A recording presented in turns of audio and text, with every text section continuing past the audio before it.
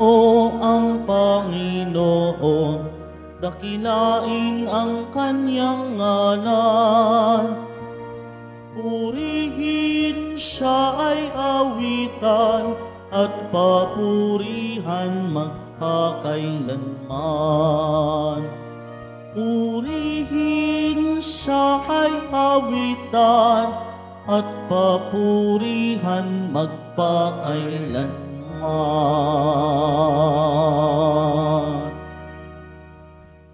Sa ngalan ng Ama at ng Anak at ng Espiritu Santo, Amen. ang pagpapala ng ating Panginoong Kristo, ang pag-ibig ng Diyos Ama, at ang pagkakaisa ng Espiritu Santo na way sumainyong lahat. At sumaiyo rin. Mga kapatid, nasa Martis tayo ng ika-33 na linggo sa kanumang panahon ng palang taon ng ating pagdiriwang. Isama po natin sa misa natin ngayon ang mga intensyon para sa araw ngayon. Ang mga intensyon ng mga nakiisa sa atin sa pangitan ng live streaming through Facebook Live, YouTube, X, Instagram, TikTok, TV Maria, at iba pang social media dito sa ating bansa at iba't ibang dako ng mundo ang inyong mga intensyon kay nasa loob at sa labas ng Basilica Minor at pambansang nambana ni Jesus Nazareno. Idagdag din natin ang ating intensyon para sa kapayapaan sa buong mundo, lalo tigit na sa Israel at sa Ukraine, at ang mga intensyon ng mga naapektuhan ng mga bagyo. Mga minamahal ko mga kapatid, tayo ay tinatawag ng ating Panginoon na magpahayag ng ating pananalig sa Kanya. Sa mga sandali na tayo ay nagkukulang sa ating pananalig sa Panginoon na pumarito upang maghanap at magli- at iligtas ang lahat, ngunit hindi natin pinakinggan sa mga sandali na tayo nagkukulang at nagkasala. Aminin po natin ang ating mga kasalanan, upang tayo maging marapat gumanap sa banal na pagdiriwang. Inaamin ko sa makapangyarihang Diyos at sa inyong mga kapatid na lubha akong nagkasala sa isip, sa salita, sa gawa, at sa aking pagkukulang. Kaya sinasamo ko sa mahal na Berhen Maria, sa lahat ng mga anghel at mga banal, at sa inyong kapatid na ako'y ipanalangin sa Panginoong ating Diyos. Paawaan tayo na makapangyarihang Diyos, Patawarin tayo sa ating mga kasalanan at patnubayan tayo sa buhay na walang hanggan. Amen. Panginoon, kaawaan mo kami. Panginoon, kaawaan mo kami. Kristo, kaawaan mo kami. Kristo, kaawaan mo kami. Panginoon, kaawaan mo kami. Panginoon, kaawaan mo kami. Manalangin tayo. Ama naming makapangyarihan, ipagalo mong lagi naming ikaligayang ikaw ay paglingkuran sapagkat walang maliw at walang kahulilip na ang kasiyahan kapag sumasamba kami sa iyong kapangyarihang nagpapairal sa tanang sanlibutan sa magitan ni Kristo kasama ng Espiritu Santo magpa hanggan. Amen. Magsipo muna po ang lahat. Pagbasa mula sa aklat ng pahayag. Ako'y si Juan Narinig ko ang Panginoon at sinabi niya sa akin, Isulat mo sa mga anghel ng simbahan sa Sardis. Ito ang sinasabi ng may pitong espiritu ng Diyos at may pitong bituin. Nalalaman ko ang ginagawa mo. Ipinalalagay mong buhay ka, ngunit ang totoo, ikaw ay patay. Gumising ka at pasiglahin mo ang mga bagay na lalalabi sa iyo nang di tuluyang mamatay. Nakikita kong hindi paganap ang mga nagawa mo sa paningin ng aking Diyos. Alalahanin mo kung paano mong tinanggap ang mga aral na iyong narinig. Isagawa mo ang mga yaon. Pagsisihan mo talikdan ang iyong kasamaan kung hindi ka gigising, paririyan akong gaya ng magnanakaw. Hindi mo malalaman ang oras ng aking pagdating. Gayon man, may ilan diyan sa Sardis na nag-ingat at napanatiling malinis ang kanilang damit. Kaya't magiging kasama-sama ko silang nakasuot ng puti, sapagkat sila'y karapat-dapat. Ang magtatagumpay ay daramtan din ng puti, at hindi ko aalisin sa aklat ng buhay ang kanyang pangalan. Kikilanling ko siya sa harapan ng aking ama at ng kanyang mga anghel. Kung may pandinig kayo, dinggin ninyo ang sinasabi ng Espiritu sa mga simbahan. Isulat mo sa anghel ng simbahan sa Laodicea. Ito ang sinasabi niya na ang pangalan ay Amen, ang matapat at tunay na saksi, at siyang pinagmulan ng lahat ng nilalang ng Diyos. Nalalaman ko ang mga ginawa mo. Alam kong hindi ka malamig ni mainit. Maano masanang malamig ka o mainit? Ngunit dahil sa ikaw ay malahing, malahininga, hindi mainit ni malamig, isusuka kita. Sasabihin mo, ako'y mayaman at sagana sa lahat ng bagay. Ngunit hindi mo nalalamang ikaw ay abang-aba, kahabag-habag, maralita, hubad at bulag. Kaya nga, ipinapayo kong bumili ka sa akin ng dinalisay na ginto upang ikaw ay maging tunay na mayaman. Bumili ka rin ng puting damit upang matakpan ang nakahihiya mong kahubaran at ang gamot sa mata nang ikaw ay makakita. Tinuturoan ko't sinusupil ang lahat ng aking iniibig. Kaya nga, magsikap ka, pagsisihan mo talikdan ang iyong kasalanan. Nakatayo ako sa labas ng pintuan at tumututok. Kung diringgin ang aking tinig at bubuksan ang pinto, ako'y papasok sa kanyang tahanan at magkasalo kaming kakain. Ang magtatagumpay ay uupong katabi ko sa aking luklukan, kung paanong ako'y nagtagumpay at nakaupo ngayon sa tabi ng aking ama sa kanyang luklukan.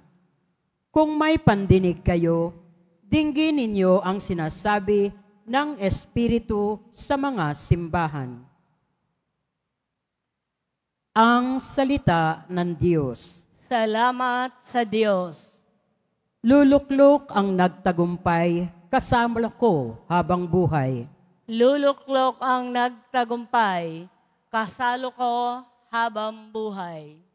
Yaong mga masunurin sa iyo'y nakikinig, at ang laging ginagaway naaayon sa matwid.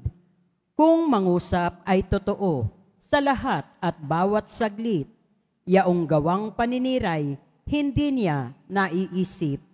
Luluklok ang nagtagumpay, kasalo ko habang buhay. Kailanman siya'y tapat, makisama sa kapwa. Sa kanyang kaibigay, wala siyang maling gawa. Hindi siya nagkakalat ng di tunay na balita at itinatampok niya ang matapat na lumikha. Luluklok ang nagtagumpay, kasalo ko habang buhay. Hindi siya humihingi ng patubo sa pautang at kahit na anong gawain, hindi niya masuhulan upang yaong walang salay patawan ng kasalanan. Ang ganitong mga tao'y mag-ani ng tagumpay. Luluklok ang nagtagumpay, kasalo ko habang buhay. Magsitayo na po ang lahat.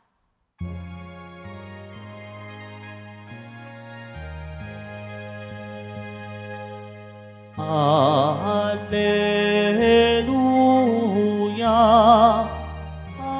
Alleluia.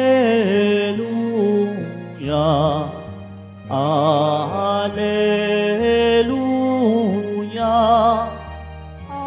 Alleluia.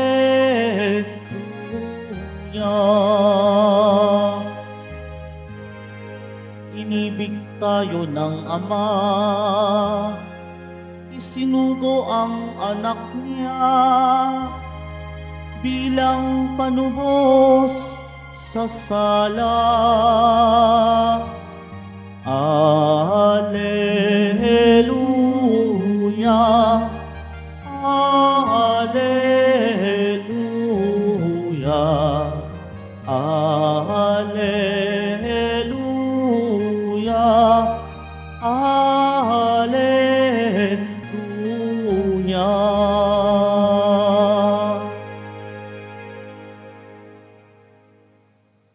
Sumainyo ang Panginoon. At sumaiyo rin. Ang mabuting balita ng Panginoon ayon kay San Lucas. Papuri sa iyo, Panginoon. Noong panahon yun, pumasok si Jesus sa Jericho at naglakad sa kabayanan. Noon may isang mayamang puno ng mga publikano na nagangalang Sakiyo. At pinagsikapan, niyang makita si Jesus upang makilala kung sino ito. Ngunit siya'y napakapandak at dahil sa dami ng tao, hindi niya makita si Jesus. Kahit patakbo siyang nagpauna at umakyat sa isang puno ng sikamuro upang makita si Jesus na nagdaraan doon. Pagdating ni Jesus sa dakong iyon, siya'y tumingala at sinabi sa kanya, Sakiyo, bumaba ka agad sapagkat kailangan kong tumuloy ngayon sa bahay mo. Nagmamadali siyang bumaba at tuwang-tuwang tinanggap si Jesus. Lahat ng nakakita nito ay nagbulong-bulungan. Nakikituloy siya sa isang makasalanan, wika nila.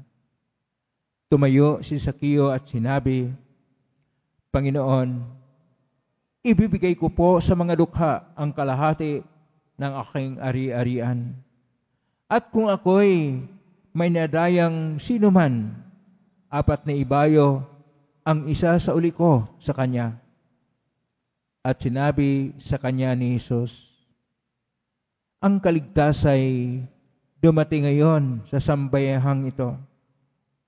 Lipi rin ni Abraham ang taong ito, sapagkat naparito ang anak ng tao upang hanapin at iligtas ang naligaw. Ang mabuting balita ng Panginoon. Pinupuri ka namin, Panginoong Heso Kristo. Magsiupo muna po tayong lahat. Isang mapagpalang araw po sa inyong lahat. Purihin po natin ang ating pong Isus Nazareno. Nasa biyernes tayo ng ika, na, nasa martis tayo ng ika-tatlumput-tatlo na linggo sa kanyang panahon sa palang taon ng ating pagdiriwang. At ngayong martes, ang atin pong paksa ay tungkol sa pagliligtas. Ang pagliligtas ay una sa lahat bahagi na ng kasaysayan ng ugnayan ng Diyos at ng tao. Ang kaligtasan ay nangyayari sapagkat nung una, ang tao ay hindi sumunod sa kalooban ng Diyos at dahil dito, nangangailangan siya ng pagliligtas o kaligtasan. Kung atin pong tingnan sa Biblia, ang salitang pagliligtas ay naulit higit sa isang daan, more than 100 times. Sa salitang Hebreo, ito ay tinatawag na shamar. Pero ang ating mga pagbasa ay nakasulat sa orihinal sa Koinoco na Grigo. Sa Koinoco na Grigo, ito naman ay ang salitang susi na dito sa ating Ebanghelyo ni San Lucas, Kapitulo 19, versikulo 10, ay sinasabi, Sitisay kay Susay to Apololos. Ibig sabihin, hahanapin at iligtas ang mga nawala o dili kaya lumihis o naliligaw. Ang pagliligtas ay siya rin ating pagkilala, hindi lang na sinasabi sa ating unang pagbasa sa pangalawang taon ng pagdiriwang natin mula sa aklat ng pahayag ni Juan, Kapitulo 1, verso 1 hanggang 22, na nagpahayag ang anghel kung paano ipahayag ang kaligtasan na dala ng anak ng tao. Ang ating Panginoong Isus ay ang Mesiyas na tinatawag na anak ng tao. At mayroong iba't ibang paraan. Una, doon sa isang sambayanan ng Diyos ay sinasabi na dapat siyang maging matapat. At doon naman sa Laodicea, sinasabi ng anghel na dapat siya ay maging totoo. Hindi dapat siya na alanganin sapagkat siya ay isusuka kapag ka alanganin siya sa kanyang pagpapahayag, sa kanyang pananalig sa Diyos. Doon makikita kung anong paraan ang pagliligtas. Hindi masasabi nating sa gawa lang ng tao, Higit sa lahat, ang pagliligtas ay isang aksyon ng Diyos. Isang kilos ng pag-ibig ng isang Diyos na may dakilang pag-ibig sa atin. Isang biyaya na ibigay sa atin sapagkat tayo ay nanalig sa Kanya, sapagkat tayo matapat sa Kanya, sapagkat tayo ay tunay na nagiging ma, nagiging tunay na nananalig at nagpapatuloy ng isang marubdob na pananalig sa Kanya. Kaya nga sinasabi sa ating Salmo 14,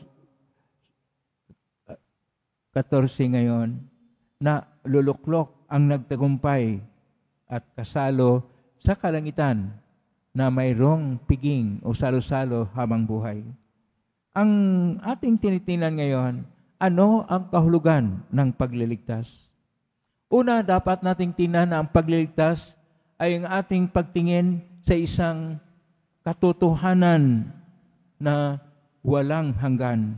At ano po itong katotohanan ng walang hanggan? Na ang Diyos ay laging tumitingin at laging nakikilahok, laging nagtalastas o nagkomunikasyon sa kanyang mga nilikha sa iba't ibang paraan.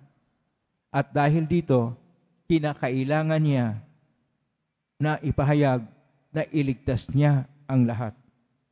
Pangalawa, na itong pagliligtas ay isang mensahe ng misyon ng ating Panginoong Hesus Nazareno. Ang mensahe niya ay ang pagliligtas sa lahat. Kaya sinasabi niya sa ating Ibanghilyo ngayon ni San Lucas, Kapitulo 19, versikulo 10. Sinasabi pa, sapagkat naparito ang anak ng tao upang hanapin at iligtas ang naliligaw. Binit enim pelius hominis quiriri it salvum patri quod perierat na dumating ang anak ng tao upang hanapin at iligtas ang mga naliligaw. Ang pagliligtas ng mga naliligaw, ibig sabihin, tayong lahat, kahit sino man siguro sa atin na, na nabinyagan at hinirang na ng Diyos nung una, ay maari tayong mapalayo sa Kanya. Maari tayong maligaw sa Kanya. Lalo tigit na sa ating modernong panahon na napakaraming mga bago, mga bagong tinatawag nating teknolohiya, mga gadgets at iba pa na siyang magpaligaw, na siyang maging hadlang, na siyang maging isang tunay pa na sentro ng buhay ng tao at hindi na ang Diyos. Kuminsan, mas maigi pa ang cellphone, hawak-hawak mo lagi, pero ang mga simbolo o mga imahen o kay anong bagay para sa Diyos ay wala sa iyo. Pangatlo, dapat nating tingnan na ang pagliligtas ng Diyos hindi po sa iilan lang. Ang tawag dito, exclusive. Hindi po exclusive ang pagliligtas ng Diyos. Ang pagliligtas ng Diyos ay inclusive. Inclusive, ibig sabihin, para sa lahat. Ngunit mayroong iba na ang akala nila sila lang ang maliligtas. Mayroon pang ang mga kulto at mga sikta na nagsabi na sila lang magliligtas. Kuminsan ginagamit pa ang pangalan ng Panginoong Heso Kristo na hindi naman sila niwala kay Kristo. Ang pagliligtas ay isang biyaya ng Diyos para sa lahat. Para sa lahat, pero hindi ito pinag pinagbigyan ng tinatawag nating magandang pansin o dili kaya pagsintro sa ating pag-isip o pag-focus ng ating buhay. Kaya kung minsan akala natin ang ginagawa natin ay tama. Maaring ito man ay debosyon, maaring ito man ay panalangin o tradisyon. Akala natin yung ating ginagawa ay tama. Hindi natin alam na napalayo na pala tayo sa Diyos ang Diyos ay naghahanap sa atin. Akala natin tayo naghanap sa Kanya. Ang Diyos ay siyang naghahanap sa atin sapagkat tayo'y lumihis na, sapagkat tayo'y naligaw na, sapagkat tayo'y napalayo na sa Kanya. Kaya ang kaligtasan ng ating Panginoon, tinatawag na inclusive para sa lahat. Pero ito ay natanggap lang at sinasabi dito sa mga nagtagumpay. Kaya nga sinasabi, luluklok ang nagtatagumpay at kasalo habang buhay sa ligayang walhanggan sa kalangitan. Kapag tingnan rin natin, ang pagliligtas ay biyaya ng Diyos sa mga hindi karapat-dapat natatanggap. Kung tinan natin ang ating ebanghelyo ngayon, sino ba si Sakio? Una sa lahat, si Sakio ay tinuturing na makasalanan sa mga tao sapagkat siya ay isang publikano na humihingi ng buwis. At ang buwis niya ay hindi para sa lahat ng mga Israelita at para sa nanalig sa Diyos, ang kanyang buwis na hinihingi sa mga tao o tinatanggap ay para sa Roman Empire na ito ay, mang, ay hindi makadiyos ito ay mamatay tao na isang empire. Kaya naituring siya na isa sa mga makasalanan. Pero si Sakio, sinumbatan ba siya ni Kristo? Gusto niyang makita si Kristo, ibig sabihin si Sakio ay nagbalik loob.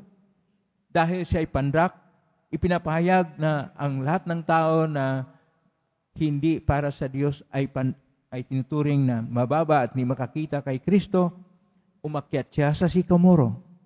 Kuminsan sa buhay natin, kinakailangan tayong maghanap ng paraan para ating madama, para ating makita, para ating masilayan ang isang nagpapahayag na ito ay presensya, ito ay pagnanahan ni Kristo. Yun ang ginagawa ni Sakio. At hindi siya nagkamali. Pagdating ng Panginoon doon, ay sinabi ng Panginoon, Sakio, bababa ka. Tutuloy ako ngayon sa bahay mo. Kapag ka tayo ay naghahanap kay Kristo, kilalanin natin siya, pero una sa lahat, tayo pala ay nakilala na ni Kristo. Kaya ang mga tao naman ay kung ano-ano mga sinasabi, nagbulong-bulungan sila na nakituloy siya sa ganyang tao na makasalanan. Kaya sinabi ni Sakio, kanya pong ibalik ang lahat. ibigay sa mga dukha. At kung siya'y nakapagdaya, apat na doble ang kanyang ibabalik. Ito ay isang paraan upang si Sakio ay maging bahagi sa tinatawag na hinirang ng Diyos o tinatawag na lahi ni Abraham. Ito yung pangatlo. At ang pang-apat na punto sa pagliligtas, ito ay tungkol sa kalaliman ng pag-ibig ng Diyos. Ang pag-ibig ng Diyos ay hindi lang dakila. Ito ay napakalalim din. Napakalalim kasing lalim na mga sugat na dumadaan sa kamay at paa ng ating Panginoon na dumadaan sa kanyang tagiliran na tumatagos hanggang puso. Ganon kalalim ang misteryo ng pag-ibig ng Diyos upang tayo na kanyang hinahanap-hanap at maligtas, upang tayo ay kanyang masumpungan at maging kabahagi ng kanyang hinirang ay siya'y nag-alay ng pagkakasakit para sa atin, hindi sa madali na paraan, ngunit namatay sa pasyon at sa kamatayan ng cross. Ganon kadakila ang pag-ibig ng Diyos sa atin. Hindi man tayo karapat-dapat, hindi rin kayo karapat, wala pong taong karapat-dapat dito. Ngunit ang isang tunay na tao, tunay na Diyos ay namatay sa atin sapagkat Kanya pong ipahayag ang kalaliman ng Kanyang pag-ibig, hindi lang ang kadakilaan ng Kanyang pag-ibig sa atin. Tayo ay Kanyang hinahanap gaya ng paghanap ng isang pastol sa isang tupa na nawala tayo ay kanya pong hinihintay na magbukas ng ating mga pinto sa ating mga puso habang siya'y kumakatok upang siya'y tutuloy sa kalaliman ng ating pagkatao. Siya ay laging tumitingin sa atin, ngunit kuminsan hindi natin nasulyapan ang pagtingin ng ating Panginoon sa ating buhay sapagkat ang lagi lang tinitingnan natin ang ating mga makasarili na kinamalingan sa buhay at nakalimutan na natin ang Diyos ay nagmamasid sa atin tuwina 24 oras. Buong linggo, buong buwan at, at taon. Ngunit kuminsan, tayo ay lumilihis sa daan na ibinibigay niya sa atin. Kaya di itong pagtingin natin sa kalaliman ng pag-ibig ng Diyos ay isang pagbabalik loob sa atin sa pangitan ng pagkilala na ang Diyos ay dapat sentro ng buhay, ang Diyos ay dapat siyang simbolo na, o tanda na nagbibigay sa atin ng daan kung saan tayo tutungo. Siya ang liwanag sa panahon ng karimlan ng ating buhay. Siya ang ating gabay sa panahon na tayo'y napalihis na napalayo na sa Kanya. Ang ibig sabihin dito, ang kalaliman ng pag-ibig ng Diyos ay higit pa sa pagtagos ng mga pako sa mga kamay at sa mga paa ng Panginoon at hindi sa mga tumatagos na tabak sa kanyang puso. Pagkos ang kalaliman ng pag-ibig ng Diyos ay kung gaano rin tayo kalalim sa ating pagpapahayag ng ating marugdog na pananalig sa Kanya, sa ating taimtim na panalangin sa Kanya, sa ating mga kawang gawa na atin pong pinupuntahan ang mga minamahal ng Diyos, gaya ng mga dukha, gaya ng mga may problema, gaya ng mga nasalilaylayan ng lipunan. Ang kalaliman ng ating ugnayan sa Diyos ay makikita kung paano tayo naging matapat, naging matuwid, at nasentro lagi sa Panginoon. Dahil nagmahal siya sa atin ng tunay. Pakisabi sa katabi mo, mahal ka ng Diyos.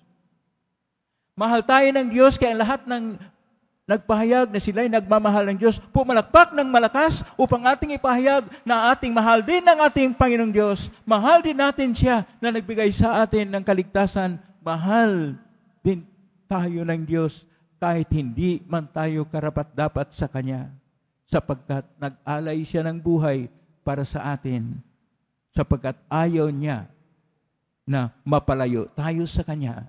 Kailanman hindi tayo inilaglag sa Diyos. Tayo ay Kanyang hinahanap-hanap sapagkat mahal na mahal tayo ng Diyos. Amen? Purihin natin ang Diyos. Magsitayo na po ang lahat.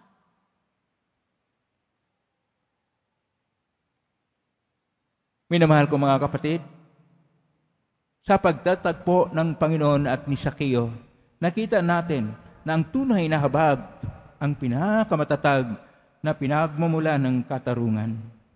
Nanalangin tayo bilang mga makasalanan sa ngalan ng mga makasalanan. Ang ating mga panalangin ay magpahayag ng panatag na tiwala sa banal na awa ng Diyos at atin pong itutugon, banal na awa, basbasan mo kami. Banal na awa, basbasan mo kami. ang simbahan naway patuloy na tanggapin ang mga naghahangad ng kapatawaran at kapayapaan ng kalooban. Manalangin tayo. Banal na awa, basbasan mo kami. Ang mga nagpapatakbo ng ating kalakalan at industriya naway maging mapagbigay at makatarungan. Manalangin tayo.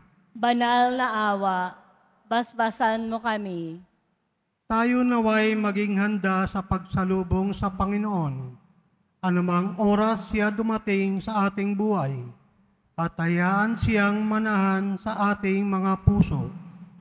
Manalangin tayo. Banal na awa, basbasan mo kami. Ang mga may sakit, naway makita na bahagi ng nakapagliligtas na krus ni Kristo ang kanilang mga pagsubok at paghihirap. Manalangin tayo. Banal na awa, basbasan mo kami. ang mga yumao, naway gantimpalaan ng walang hanggang kaligayahan sa buhay ng mundong darating. Manalangin tayo. Banal na awa, basbasan mo kami. Sa tahimik, idulog natin sa Panginoon ang ating mga sariling kahilingan. Ama naming Diyos, punuin mo ang aming mga puso ng iyong pag-ibig. Ipagkalob mo sa amin ang iyong mapagligtas na tulong kapag kami ay magkasala at naway, panatilihin mo kami sa iyong kal- pagkalinga. Ning namin to, mangitan ni Kristong aming Panginoon. Amen. Magsiupo muna po ang lahat.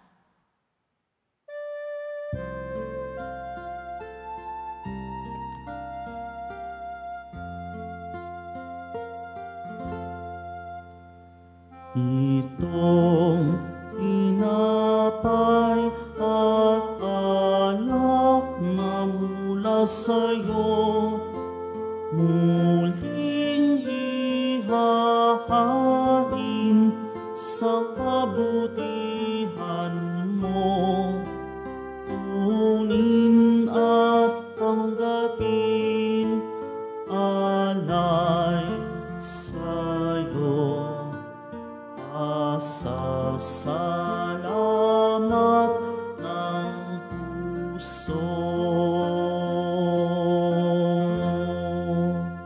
Magsitayo na po ang lahat. Manalangin kapatid upang paghahain natin ay kalugdan ng Diyos amang makapangyarihan. Tanggapin nawa ng Panginoon itong paghahain sa iyong mga kamay, sa kapurihan niya at karangalan sa ating kapakinabangan at sa buong sambayanan niyang banal. Ama naming lumikha, ipagkalog mo ang iyong masintahing pagtingin sa aming mga alay, upang ang ng loob mo ay aming makamtan, at ang bunga ng walang hanggang pag-iral ay aming mapakinabangan sa pangitan ni Kristo kasama ng Espiritu Santo, magpa sa walang hanggan. Amen. Sumainyo ang Panginoon. At sumaiyo rin. Itaas sa Diyos sa inyong puso at diwa. Itinaas na namin sa Panginoon. Pasalamatan natin ang Panginoong ating Diyos. Marapat na siya ay pasalamatan. Ama ng kapanin, tunay marapat ni kay aming pasalamatan sa iyong paglingap at ang loob ang tayong likha mo at pinangasiwa sa san sinukob.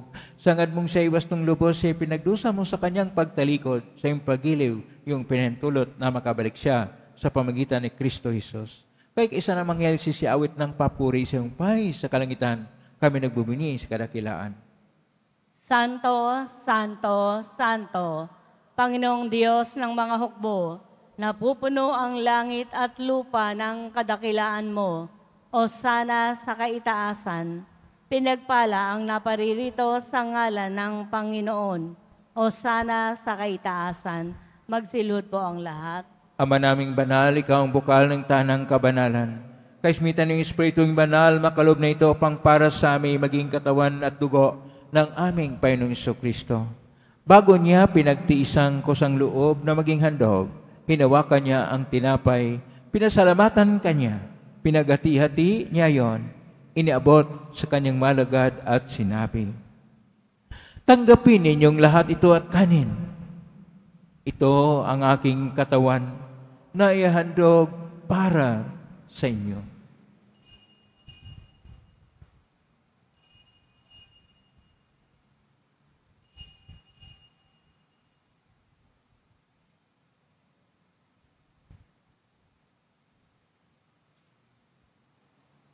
Gayon din naman nung matapos ang hapunan, hinawakan niya ang kalis muli, kanyang pinasalamatan. Inabot niya ang kalis sa kanyang malagad at sinabi, Tanggapin ninyong lahat ito at inamen.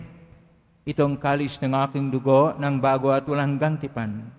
Ang aking dugo na ibubuhos para sa inyo at para sa lahat sa ikapagpapatawad ng mga kasalanan. Gawin niyo ito sa pag-alala sa akin.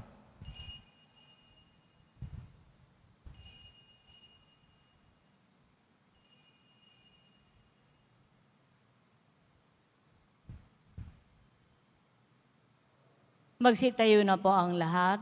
Ang misteryo ng pananampalataya. Si Kristo'y namatay, si Kristo'y nabuhay, si Kristo'y babalik sa wakas ng panahon. Ama, ginagawa namin ngayon ang paglala sa pagkamatay at muling pagkabuhay ng anak kahit naalay namin sa iyo ang tinapay nagbibigay buhay at ang kalis na nagkakaloob ng kaligtasan. Kami nagpapasalamat. Dahil kami narapat na tumayo sa harap mo para maglingkod sa iyo. Isinasamo namin kami magsasalo-salo sa katawan at dugo ni Kristo ay mabuklod sa pagkakaisa sa pamagitan ng Espiritu Santo. Amalingapin simbahang laganap sa buong daigdig. Pustusin mo kami sa pag-ibig kaisa ni Francisco na aming Papa at ni Jose na aming Obispo at ng Tanang Kaparian. Alalahanin mo rin mga kapatid namin na imlay na may pag-asang sila'y muling mabuhay, ganing lahat ng mga pumanaw. Kaawaan mo sila at patuloyin sa iyong kaliwanagan. Kawano'y dapatin kaming lahat na makasalo siyang buhay na walang wakas, kaisa ng mahal na Berhen Maria na ina ng Diyos, ng kabiyak ng puso niyang si San Jose, kaisa ng mga apostol, ni San Juan Bautista, ni San Roque, ni San Lorenzo Ruiz de Manila, ni San Pedro Kalungsod at ng lahat ng mga banal na namuhay Diyos daigdig ng kalugod-lugod sa iyo, may pagdiwang nawa namin ang pagpupuri si karangal mo sa pangitan ng anak na aming Panginoong Heso Kristo. Sa pamamagitan ni Kristo. Kasama niya at sa Kanya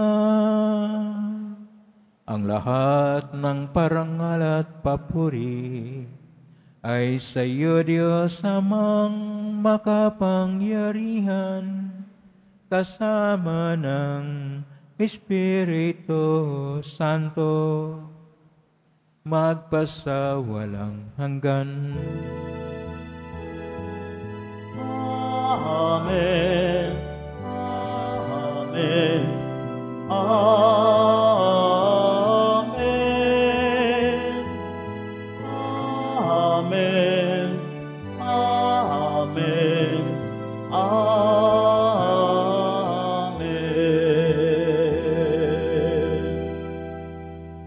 Sa tagubilin, may kaling nauto sa turo ni Jesus na, na Panginoon natin at Diyos, ipahayag natin ang lakas loob. Ama namin, Namin, sumasalangit ka, sambahin ang ngalan mo, mapasa amin ang kaharian mo, sundin ang loob mo dito sa lupa para nang sa langit. Bigyan mo kami ng aming kakanin sa araw-araw. Sa araw-araw. At patawarin mo kami sa aming mga sala, para nang pagpapatawad namin sa nagkakasala sa amin, at huwag mo kaming ipahintulot sa tukso, at iadya mo kami sa lahat ng masama. Hinihiling namin kami iadya sa lahat ng masama. Pagkalooban ng kapayapaan araw-araw, iligtas sa kasalanan at tilasilat ng kapahamakan samantalang aming pinanabikan ang dakilang araw ng pagpapahayag ng tagapagligtas naming si Iso Kristo. Sapagkat iyo ang kaharian at ang kapangyarihan at ang kapurihan magpakailanman. Amen. Panginoong Kristo, sinabi mo sa mga apostol, Kapayapaan ang iniiwan ko sa inyo, ang aking kapayapaan ay binibigay ko sa inyo. Tunghayan mo ang panampalataya at huwag ang aming pagkakasala. Pagkalooban mo kami ng kapayapaan at pagkakaisa ayon siyang kalooban, kasama ng Espiritu Santo, magpa sa walang hanggan. Amen. Ang kapayapaan ng Panginoon ay laging sumainyo. At sumaiyo rin. Magbigayin kayo ng kapayapaan sa isa't isa. Kapayapaan.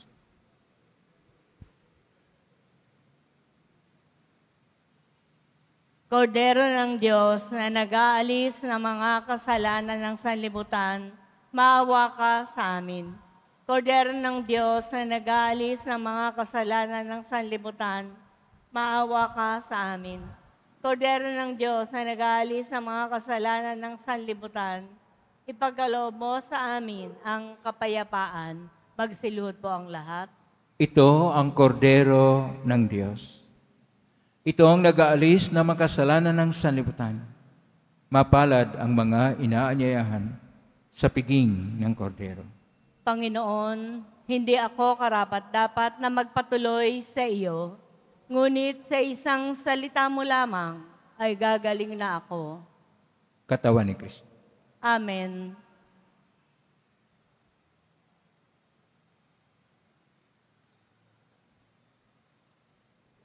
Para po sa lahat ng tatanggap ng banal na komunyon, sasagot po tayo ng amen. Pagkasabi po ng pare o ng lay ministers ng katawan ni Kristo at isubo po agad sa bibig bago mali sa harapan ng pare o lay ministers. Sumunod po tayo at maraming salamat po.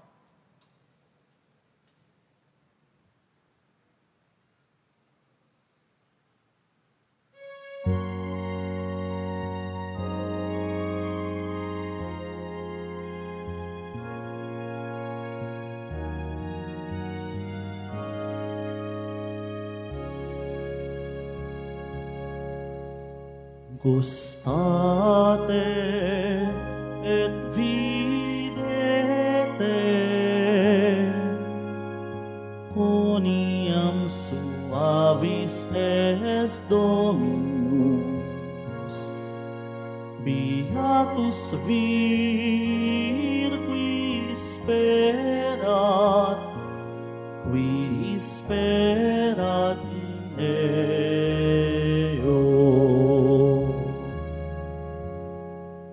To me, all you that labor, all you that labor and are burdened, and I will give you rest, and I will give you rest, says the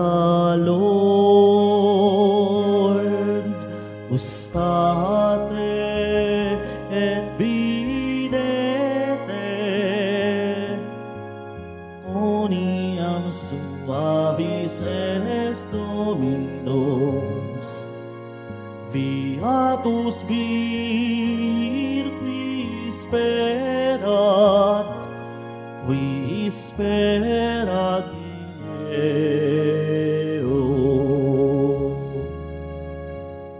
I will bless the Lord at all times. His praise shall be ever in my mouth. Let my soul glory in the Lord. The lowly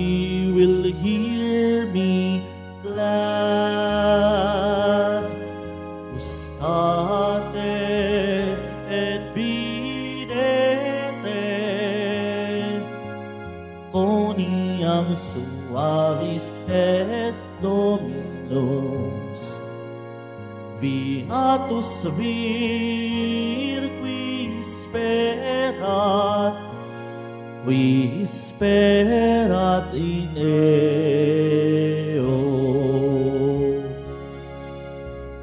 Glorify the Lord with me. Let us together extol his name. I sought the Lord, and he answered me and delivered me from all my fears. Gustate et videte Oniam suavis est Dominus Viatus vir qui sperat qui sperat in eo.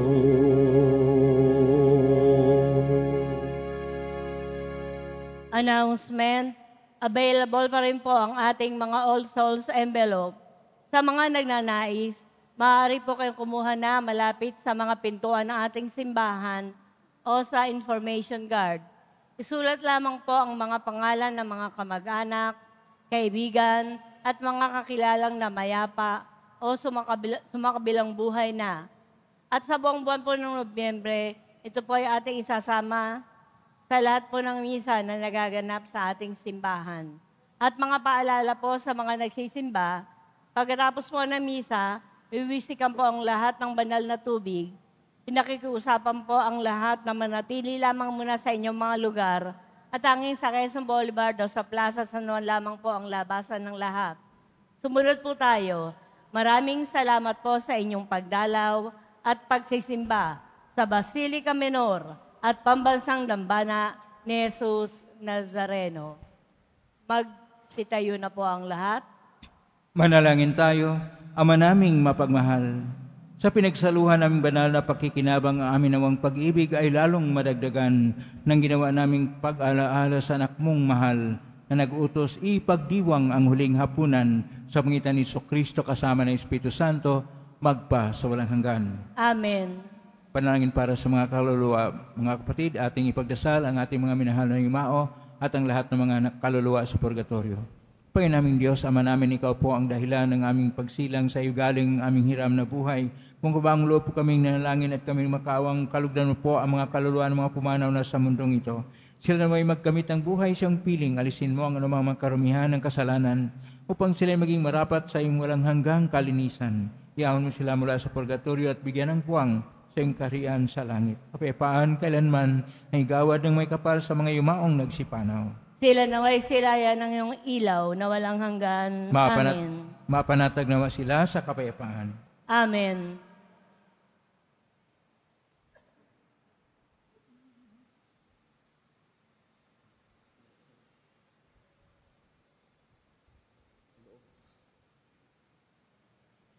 Maraming salamat po sa inyong pagdalaw sa tahanan ng ating pong Isus Nazareno. Kayo may narito, kayo naugnay sa iba't ibang social media platform na cross-posting sa iba't ibang paraan. Naway ang inyong panalangin ay dinggin ang poong Isus Nazareno. Salamat po sa lahat nagbigay ng tulong at donasyon sa Quiapo Church upang makatulong ang Quiapo Church sa kapwa natin mahirap at nangangailangan. Salamat po sa inyong tulong. Pagpalain kayo ng Panginoon Diyos. Salamat sa lahat ng mga naglilingkod ngayon. Pagpalain ka lagi ng pong Isus Nazareno. Plakpakan po natin lahat ng mga naglilingkod, lahat ng mga narito, lahat ng mga naugnay sa atin, lahat ng tumutulong sa atin. Naway, ang Diyos ay magpapala sa inyo ng biyayang siksikliglig at nag-umapaw. Iniligtas tayo ni Kristo hindi sa madali na paraan, bagkos sa kanyang puspos ng awat habag sa atin, nag-alay ng buhay upang tayo maligtas upang ipahayag ang kalaliman at dakilang pag-ibig ng Diyos sa atin. Ngayon na po ang puswas. Mangyari po lamang itaas bagya, mga bagay na puswasan. Sumainyo ang Panginoon. At sumaiyo rin. Mahal na pong Isus Nazareno. Inagbasan ng cross ang walang maloy na pag-ibig ng Diyos ang katauhan. Pakinggan mong kilingan ng kanan nagsusumamo sa makamtanawan nila ang iyong katugunan at tanggapin ang kasagutan mitag na loob na tinatanahon Basbasan di po ninyo ang mga dalang imahin dasal at mga bagay-bagay. Basbasan ang may mga karamdaman. Sa pamitan ng benisyon na may maalalang pangakon sa binyag na ikaw ang inibigin at paglalingkuran bilang Panginoon magpa sa walang hanggan. Amen. Pagpalain kayo makapangyarihang Diyos, Ama at Anak at Espiritu Santo, Amen. may kang taglayang kapipaan, pag-ibig at pag-asa ng Pong Isus Nazareno. Salamat sa Diyos. Purihin natin ang ating Pong